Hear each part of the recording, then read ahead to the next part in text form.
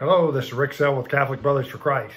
I want to invite you to a virtual men's conference this Saturday, April 25th, from 9 to 11.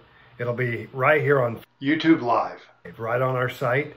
So join us this weekend. It'll be with Deacon Harold Burke Sivers. He's going to talk about uh, every, living every day with a Eucharistic heart, and he's also going to show us the spiritual power of the Rosary. So. So please join us this Saturday, April 25th from 9 to 11 on our YouTube Live page.